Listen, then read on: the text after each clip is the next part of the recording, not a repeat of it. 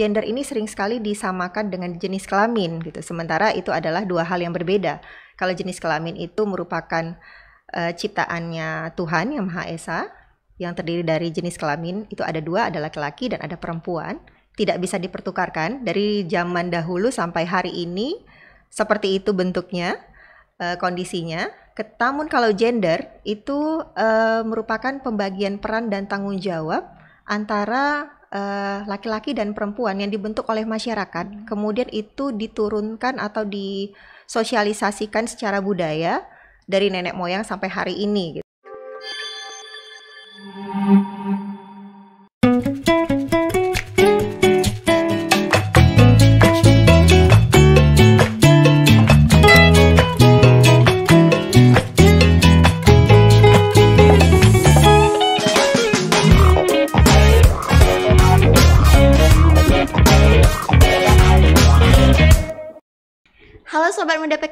Kembali lagi di podcast Ruang Pikir. Perkenalkan nama saya Naza Aulia Rahab, di sini saya sebagai host. Nah, di sini Nazla nggak sendirian teman-teman. Nazla ditemenin oleh dua narasumber yaitu ada Ica. Halo Ica, apa kabar? Halo Najla, alhamdulillah aku kabar baik. Kamu apa kabar? Alhamdulillah baik, Kak. Alhamdulillah. Nah, kemudian ada Kak Lia. Halo Kak Lia, apa kabar? Hai juga Najla, alhamdulillah baik. Seperti Najla, seperti Ica. Alhamdulillah. Nah, kalian ini merupakan salah satu koordinator UNISKA di PKPA. Oke, karena kita udah kedatangan dua narasumber nih, langsung aja uh, kita bakal nanya-nanya dan bahas mengenai gender. Nah, sebelum kita masuk ke topik gender ini, Kak, nah saya mau nanya nih, apa sih Kak UNISKA itu? Oh iya, UNISKA itu merupakan salah satu unit yang ada di PKPA ya. Jadi itu unit yang pertama dan unit tertua. Kepanjangannya adalah Sanggar Kreativitas Anak Concernnya itu lebih kepada pendampingan uh, dan pemberdayaan anak-anak yang berada di jalanan. Jadi termasuk juga anak miskin kota, kemudian anak yang bekerja atau pekerja anak, plus juga selama ini uh, selain anak kita juga udah mulai masuk pendampingan kepada keluarga. Oh, Oke okay, kak, terima kasih. Masa. Nah kita bakal masuk nih ke pembahasan kita hari ini. Nazla mau nanya nih, uh, apa sih kak uh, yang dimaksud dengan gender itu? Oke, gender uh, itu berasal dari bahasa Latin ya, genius ya. Artinya itu lebih kepada pembagian peran, uh, sifat dan tanggung jawab antara laki-laki dan perempuan. Tapi uh, gender ini sering sekali disamakan dengan jenis kelamin gitu. Sementara itu adalah dua hal yang berbeda. Kalau jenis kelamin itu merupakan uh, ciptaannya Tuhan yang Maha Esa, yang terdiri dari jenis kelamin itu ada dua, ada laki-laki dan ada perempuan tidak bisa dipertukarkan dari zaman dahulu sampai hari ini seperti itu bentuknya uh, kondisinya. Namun kalau gender itu uh, merupakan pembagian peran dan tanggung jawab antara uh, laki-laki dan perempuan yang dibentuk oleh masyarakat. Kemudian itu diturunkan atau disosialisasikan secara budaya dari nenek moyang sampai hari ini gitu. Jadi ketika kita pindah uh, lokasi uh, mungkin perbedaan peran dan perempuan itu tidak sama dengan kondisi kita yang ada di Indonesia misalnya. Kemudian atau di suku tertentu uh, perempuan tidak seperti itu, namun di suku tertentu lagi ternyata perempuan seperti ini gitu. Nah, itu tadi karena yang membedakannya adalah uh, manusia, bukan uh, seperti jenis kelamin yang dibedakan ciptaan dari Tuhan itu tidak bisa dipertukarkan seperti itu. Oh, uh, jadi uh, misal nih Kak, gender itu berarti lahir dari budaya-budaya yang dibentuk di masyarakat Indonesia Benar begitu, sekali, iya. Jadi hmm. prinsipnya kalau gender itu dia sifatnya tidak kekal, tidak seperti jenis kelamin yang memang itu diciptakan oleh Tuhan, tidak bisa dipertukarkan dari dulu sampai hari ini tetap seperti hmm. itu kondisinya. Tapi kalau gender itu bisa berubah dari waktu ke waktu, dari zaman ke zaman dan berbeda tempat itu juga bisa berbeda perlakuan tergantung dari masyarakat budaya lokal setempat. Lebih dekat ke budaya berarti kalau gender ini ya kak. Uh, Oke okay, kak kita masuk ke pertanyaan selanjutnya. Nah um, fenomena sosial yang ada sekarang ini kan kayak perempuan nih lebih sensitif nih terhadap isu gender nih kak. Menurut kakak sih apa sih yang menyebabkan hal tersebut? Uh, ya, uh, bicara perempuan, bicara gender itu sering sekali dianggap jadi satu kesatuan ya. Jadi kalau uh, ketika ngomongin gender, oh pasti tuh ngomongin perempuan. Padahal itu tadi ya, mungkin ada pemahaman yang belum duduk nih di masyarakat kita bahwa lagi-lagi harusnya bicara gender itu adalah bicara soal uh, peran tanggung jawab antara laki-laki dan perempuan. Tentu harusnya ini menyasar kedua jenis kelamin tadi gitu, tidak menjadi tanggung jawab uh, semata di perempuan. Cuma itu tadi lagi-lagi karena um, memposisikan uh, membicarakan masalah gender itu lebih identik ke perempuan jadi kesannya perempuan tuh lebih dekat dengan persoalan gender atau mungkin dari kasus-kasus yang hari ini banyak dialami oleh perempuan itu juga salah satu faktornya adalah tidak luput dari kekerasan yang uh, berbasis karena gender. Hmm. Terus Nazila sering banget nih mendengar kata istilah ketidakadilan gender. Mm-hmm. Menurut Kak Ica, ketidakadilan gender tuh apa sih Kak yang dimaksud dengan ketidakadilan gender ini? Uh, dari apa yang aku baca dan dari apa yang udah aku lihat juga ketidakadilan gender itu pembedaan perlakuan antara anak laki-laki dan perempuan jadi pembedaan pemberian hak kemudian pembe perbedaan pemberian pendidikan hmm. akses informasi dan lainnya antara anak laki-laki dan perempuan yang pastinya ini merugikan dari salah satu pihak atau salah satu uh, jenis kelaminnya begitu. Oh uh, ya um, ini bentuk-bentuk apa saja tuh yang dikategorikan ketidakadilan gender ini? Uh, iya, jadi mungkin menyambung dengan yang disampaikan oleh Ica ya. Hmm. Jadi sebenarnya ketidakadilan gender ini adalah uh, disebabkan karena ada sebuah uh, situasi ya di mana akses, partisipasi atau kontrol yang tidak seimbang sehingga itu tadi mengakibatkan pada jenis kelamin tertentu itu jadinya dirugikan. Ada jenis kelamin tertentu itu kesannya lebih menguasai atau lebih punya power seperti itu. Jadi benar yang sepakat seperti yang disampaikan oleh Ica. Nah, untuk itu akhirnya di uh, ketidakadilan gender ini punya beberapa bentuk. Jadi antara lain ada yang seperti uh, marginalisasi artinya peminggiran, kemudian uh, subordinasi atau penomorduaan, kemudian ada citra buruk atau uh, kita bilang stereotype ya, kekerasan terhadap perempuan, uh, lebih kurang seperti itu. Terus yang kayak Oh, satu lagi, beban ganda. Benar. Oh. Beban ganda itu artinya uh, apa ya? Uh, namanya kalau beban itu kan pasti sebuah uh, sebuah hal yang lebih ke negatif ya, iya. sebuah hal yang memberatkan. Ini beban ganda berarti itu uh, lebih dari satu bisa dua bisa berikutnya. Oh. Terus yang kayak kalian bilang tadi kan ada penomorduaan perempuan. Nah misalnya mm -hmm. itu kayak perbedaan kesempatan akses pendidikan terhadap anak perempuan. Uh, Kak Ica sering nggak sih menjumpai hal tersebut gitu? Uh, ini terbilang sering aku lihat di lingkungan sekitar rumah karena emang ya masih berpatok pada uh, ke istilah nenek moyang di mana hmm. perempuan akan selalu kembali ke dapur. Berangkat dari istilah itu, orang-orang sekitar lebih sering uh, bilang kalau ya untuk apa sih perempuan sekolah? Ya. Untuk apa perempuan pendidikannya tinggi-tinggi toh bakal balik ke dapur juga gitu. Nah, di lingkungan aku juga bahkan gak sedikit orang tua yang lebih memilih untuk menyekolahkan anak laki-lakinya daripada anak perempuannya. Jadi kayak mengutamain anak laki-laki daripada anak perempuan. Padahal kan sebenarnya anak perempuan juga berhak gitu loh untuk mendapatkan Bener. akses ya, pendidikan Bener. begitu. Dan, Jadi terbilang sering dan mungkin gak cuma di daerah aku aja atau ada di daerah Kalia atau bahkan ada di daerah Najla juga kan. Iya. Oke. Okay. Nah, kalau di tem di tempat kalian nih, kalian sering nggak menjumpai hal tersebut gitu penomorduaan perempuan? Ya, masih ada ya tetap kasusnya jadi seperti yang disampaikan oleh Ica, contohnya itu dalam hal pendidikan gitu ya. Hmm.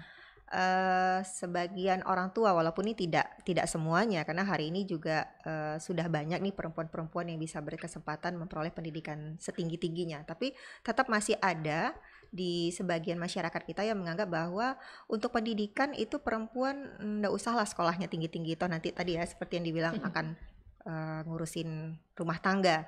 Kalau dulu tuh istilahnya nggak uh, jauh-jauh dari kasur, sumur, dapur katanya gitu. Padahal sebenarnya ini adalah asumsi yang salah bahwa lagi-lagi uh, di masyarakat uh, di Indonesia bahwa untuk nanti nih ketika perempuan itu dewasa sudah berkeluarga sudah punya anak biasanya yang melakukan penguasa pengasuhan itu akan dititik beratkan kepada perempuan. Nah, bagaimana mungkin ketika seorang ibu tidak dibekali dengan pendidikan yang baik, nanti diharapkan bisa mendidik, mengasuh anak em, dengan kualitas yang baik, tapi si ibunya tidak dibekalin. Nah, ini kan juga sebenarnya kesalahan besar gitu. Jadi eh, masih ditemukan kasus-kasus tersebut yang ternyata itu memang juga eh, akhirnya bisa berdampak kepada pengasuhan-pengasuhan yang tidak eh, Baik maksimal ya. gitu ya, tidak baik ya, malah perempuannya diminta pertanggungjawabkan untuk melakukan pengasuhan secara sendiri. Nanti ketika anaknya tidak eh, apa eh, melakukan kesalahan, nanti pasti lagi-lagi oh ini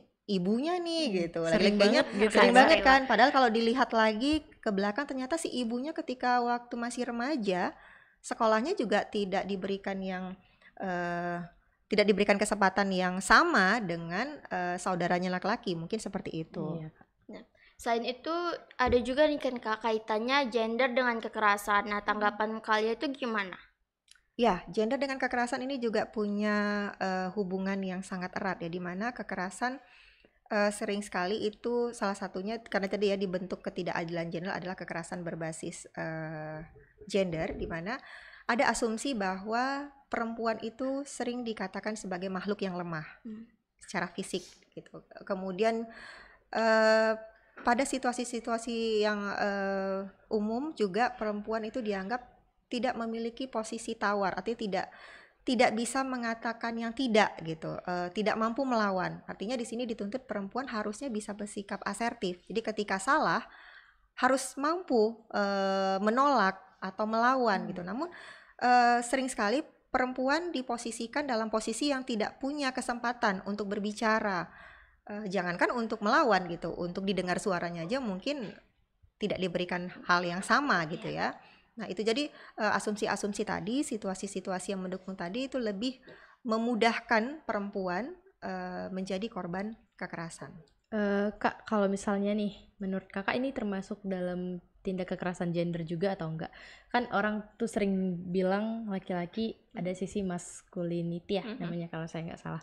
Nah, jadi dalam sisi ini laki-laki tuh dianggap makhluk yang kuat, yang nggak boleh nangis, yang nggak Mhm, boleh eh, sakit, Nggak boleh yang- cengeng nggak boleh gitu ya. cengeng Hmm. gitu Kak. Itu termasuk bentuk kekerasan juga atau gimana Kak? Eh, mungkin tidak kekerasan tapi lebih kepada itu tadi yang gender tadi ya. Jadi itu Mm. sebenarnya itu yang ada di pola pikirnya eh, manusia bahwa laki-laki itu adalah sosok yang tangguh, kuat, disiplin, tegas gitu, bisa mengambil keputusan. Sementara kalau perempuan itu katanya lebih banyak lebih mengandalkan eh, perasaan, Perasaan. ketimbang logika. Jadi kemudian bawaannya baper gitu kan, eh, lebih mudah tersentuh hatinya, lebih lembut. Sehingga kalau sampai hal-hal yang teknis mungkin ketika berjalan pun perempuan itu baiknya yang kemayu, jalannya lembut, jangan yang em, apa gerasak gerusuk seperti itu. Nah, hal-hal tersebut tadi sebenarnya lebih membatasi gerak ruang Perempuan ya, dari perempuan gitu. Padahal perempuan itu itu kan tidak tidak apa ya ketika eh, perempuan eh, bisa melakukan hal-hal yang mungkin lebih mengandalkan pada kekuatan fisik, kenapa tidak gitu kan? Iya. Sepanjang dia punya kemampuan. Jadi tidak diukur karena dia perempuan, karena dia laki-laki kemudian dibatasi. Nah, itu yang sebenarnya Hmm. tidak boleh gitu. Baik itu dalam hal pendidikan, kesempatan dalam memberi eh, apa ya pendapat, pandangan gitu. Itu sangat eh, tidak tidak baik gitu ya Hmm. membatasi. Hmm. Oke Kak, eh, Nazla mau nanya, bentuk stereotip gender seperti apa nih yang masih banyak dan dipercayai oleh masyarakat sekarang ini? Eh, banyak hal ya, khususnya itu yang sering terjadi stereotip atau citra buruk atau pelabelan tadi itu memang lagi-lagi menimpa eh, kaum-kaum perempuan, baik itu perempuan dewasa maupun eh, anak remaja. Jadi contohnya aja misalkan eh, kalau perempuan itu pulangnya malam hari, eh, maka tuh mungkin tetangga pada, aduh apa nih ya ngomong ya ngomong pada saat itu atau besoknya langsung lah begibah mereka menggosip bahwa uh nih si Anu nih lasak sekali pulangnya malam masa jam segini pulang eh, dari dari kerjaan gitu kan kok eh, rasanya nggak sesuai gitu. Maka dicap lah bahwa ini perempuannya nakal perempuannya liar. Bisa saja mungkin dia pulang malam karena apa gitu. Mungkin karena baru selesai mengejarkan tugas diskusi kelompok. Atau mungkin dia pulang malam karena singgah habis membeli eh, obat untuk ibunya dari apotek misalkan seperti itu. Jadi jangan langsung menjudge seseorang tanpa mengetahui alasan sebenarnya karena apa. Termasuk juga mungkin di kasus-kasus kekerasan. Di mana perempuan sering sekali eh, sudahlah korban kemudian dicari-cari alasannya ya, dicari-cari pembenaran bahwa pantas dia jadi korban karena mungkin pakaiannya seperti itu atau mungkin eh, parfumnya terlalu mengundang atau penampilannya terlalu eh, apa ya? Ya tadi mengundang dianggap. Nah, hal-hal seperti itu sebenarnya membuat perempuan sendiri yang menjadi Oh. eh, korban dan lebih dirugikan. Kalau menurut kakak nih kak, misalkan eh, Ica sering dengar tuh di ibu-ibu nih kalau ngomong selalu bilang pengen pengen deh punya anak perempuan biar ada yang bantuin masak, Mhm, bantuin mhm. kerja-kerjaan rumah gitu kan. Itu termasuk ke dalam gender juga nggak sih kak? Dan termasuk ke dalam stereotip juga nggak? Soalnya kan eh, ke- perempuan seolah dibebani gitu kak sama pekerjaan-pekerjaan rumah gitu. Anak laki-laki dianggap udahlah nggak usah yang ngerjain perempuan aja gitu kak. Itu dianggap sebagai stereotip dan kekerasan juga nggak sih? Eh, ih, gimana jawabnya ya? Kalau di langsung dibilang kekerasan sebenarnya eh, mungkin pembatasan ya. Mungkin Mbak? dari awal eh, itu tadi mindset orang tua sudah terbentuk ketika eh, anak perempuan itu memang dianggap pada akhirnya tidak pun dia nanti harus sampai menikah ya. Ketika usianya dianggap sudah eh, remaja, mungkin dianggap dia sudah bisa nih eh, punya adik, dia membantu orang tuanya untuk mengasuh adik. Mungkin kalau punya anak laki-laki tidak terlalu diminta bantuan untuk mengasuh adik gitu ya. Tapi kalau perempuan diminta untuk mengasuh adik, bisa bersih-bersih rumah, bisa bantu ibunya memasak. Nah, ketika nanti sudah menikah akan dititipkan lagi eh, beban-beban tadi bahwa jadi seorang ibu adalah harus bisa mengasuh, mendidik anak. Semua pekerjaan domestik di rumah itu harus menjadi tanggung jawab utama perempuan. Sebenarnya ini bagian dari eh, bentukan budaya yang mungkin terjadi misalkan itu di budaya kita di timur tapi Hmm. ketika kita pergi ke Eropa mungkin mereka tidak melakukan seperti itu itu tadi yang gender jadi kalau saya pikir nggak masuk stereotip ya tapi memang karena pe- perlakuan membedakan itu perannya atas eh, nama gender tadi Oh baik, terima kasih kak. Terus kak, em, apa sih kak penyebab stereotip-stereotip tersebut tuh muncul gitu? Penyebab-penyebabnya apa saja? Eh, ya itu tadi ya karena ada eh, asumsi kemudian itu ini kan persoalan hal yang eh, sesuatu yang sudah biasa diterima dan dianggap itu benar ya. Jadi dari orang tuanya mengatakan seperti itu orang tuanya bisa berkata seperti itu karena diberitahu oleh orang tua sebelumnya dan itu berlangsung turun temurun jadi asumsi dan pembenaran-pembenaran tadi dianggap memang sebuah eh, fakta yang memang malah mungkin di di satu kalangan tertentu ketika itu coba dibongkar, ketika itu coba didobrak, dianggap ini melawan kodrat katanya. Nah, itu padahal itu berbeda lagi ya gitu. Kodrat itu banyak sih orang yang mungkin suka salah arti bahwa kodratnya perempuan tuh adalah memasak. Nanti kalau udah menikah mengurus suami. Kita pertanyakan lagi menurut Ica itu kodrat enggak ya? Enggak kak. Enggak. Setahu dari apa yang udah Ica baca di beberapa majalah, kodrat perempuan itu melahirkan, hamil, Mhm. menyusui, menstruasi. Karena kan eh, definisi kodrat sendiri adalah sesuatu yang tidak bisa dilakukan. Misal kodrat perempuan berarti sesuatu yang tidak ada dalam diri laki-laki. Sementara kalau untuk bersih-bersih laki-laki juga bisa Oke. nyapu kan? Setuju. Benar. Benar. Pinter-pinter nih Ica nih sama Najla nih. Oke kak, Eh Najla menanya, hal sederhana apa eh, apa saja nih yang dapat dilakukan oleh anak untuk edukasi masyarakat tentang kesetaraan gender ini? Ah, mungkin Ica lebih cocok jawabnya kali ya. Karena kalau kakak anak-anaknya udah zaman dulu sekali. Ica nih yang cocok nih, masih usia anak nih. Eh, jadi terkait pertanyaan Najla tadi tentang bentuk eh, gimana? Hal sederhana apa saja tuh yang dapat dilakukan oleh anak untuk hal edukasi sederhana ya, hal Iya. sederhana untuk edukasi ke masyarakat. Kalau Ica pribadi, eh, kalau untuk kita buktikan ke masyarakat itu pastinya punya tantangan-tantangan tersendiri ya kak. Benar. Jadi Ica rasa kita harus menampilkan bahwa perempuan juga bisa gitu. Misal nih orang-orang kan sering bilang kalau misalkan perempuan tuh nggak cocok jadi pemimpin, perempuan nggak bisa jadi pemimpin. Nah yang perlu kita lakukan adalah membuktikan kepada masyarakat bahwa kita bisa memimpin gitu. Oke. Jadi eh, mulailah dengan menunjukkan keahlian-keahlian kita, bakat-bakat kita memimpin, kemudian juga seperti olahraga bela diri juga kan banyak tuh kayak orang-orang bilang perempuan gak usah lah bela-bela diri gitu kan. Nah kayaknya itu juga perlu kita buktikan bahwasanya bukan hanya laki-laki loh yang bisa melakukan pekerjaan fisik, bukan Hmm. hanya laki-laki loh yang bisa melakukan aktivitas fisik, perempuan juga bisa menurut saya tuh gi- gitu Kak. Jadi emang pembuktian sih bukan gimana-gimana. Karena kalau kita sosialisasi sosialisasi terus kayaknya juga satu hari dua hari oke, hari ketiga udah hilang gitu. menurut Kakak gimana? Ya, jadi memang eh, benar ya. Artinya eh, si anak remaja tadi harus memulai eh, kalau ngomong aja itu nanti susah. Ya apa sih buktinya gitu. Jadi Iya, memang kita gitu, butuh Kak. pembuktian gitu ya. Butuh Iya, Kak. pembuktian dari hal apa sederhana yang bisa dia lakuin. Yang ketika orang melihat ternyata oh iya ya perempuan bisa juga kok seperti ini. Perempuan itu nggak lemah kok gitu kan. Atau per- nggak semuanya misalkan gini. Apakah yang boleh menangis hanya anak perempuan? Ntar kalau anak-anak cowok sedih, terus dia nggak boleh mengeluarkan air mata. Bukankah air mata juga diciptakan oleh Tuhan?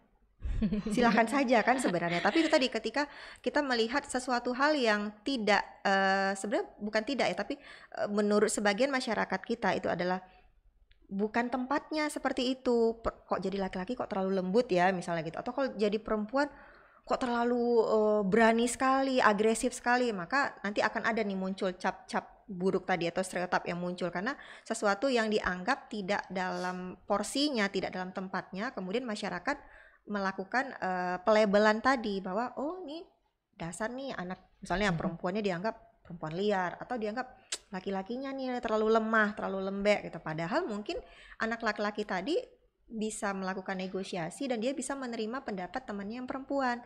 Tapi dia di dikatakan bahwa laki-lakinya nih eh, apa ya nggak tegas, nggak bisa ngambil keputusan. Nah, kondisi-kondisi tadi sebenarnya itu bisa dimulai dari anak itu sendiri dalam kehidupan sehari-hari dan memang eh, mungkin nanti sebuah seruan ya bisa kita eh, sampaikan bahwa mereka harus melakukan itu dari kehidupan masing-masing dan mencoba mendobrak itu. Tapi memang pasti tantangannya akan besar. Apalagi mungkin tantangan utama yang dihadapi adalah keluarga. Kalau berangkat dari keluarga yang eh, juga tidak ramah dengan eh, Anak isu gender ya. ini ya sudah melekat benar di di pemahaman mereka, di cara berpikir mereka bahwa laki-laki harus seperti A misalnya, tidak boleh lewat dari situ. Kemudian perempuan juga seperti itu, sudah ada koridor-koridor yang mereka tetapkan. Ini memang menjadi akan eh, tantangan sendiri gitu. Tapi memang tadi kalau itu dilakukan secara terus menerus dan bisa dibuktikan, yakinlah itu pasti akan terkikis. Gitu. Oke teman-teman, banyak banget nih pelajaran yang bisa kita ambil di pembahasan kita hari ini. Sebagai anak, eh, sebagai anak remaja cewek atau cowok, berhak mendapatkan informasi, pendidikan, dan menyampaikan pendapat tanpa memba- membatasi ruang geraknya karena jenis kelamin. Oke, sebelum kita menutup podcast ini, Naza mau berterima kasih nih kepada narasumber kita yang kece-kece banget hari ini. Makasih Kak Lia, makasih Kak Ica.